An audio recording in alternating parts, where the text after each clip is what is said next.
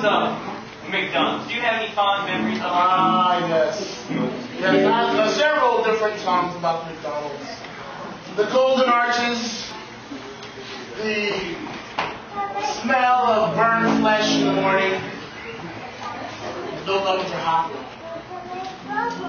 Uh, none uh, more important to me than uh, this folky little number that I wrote um, entitled Where's My Fries?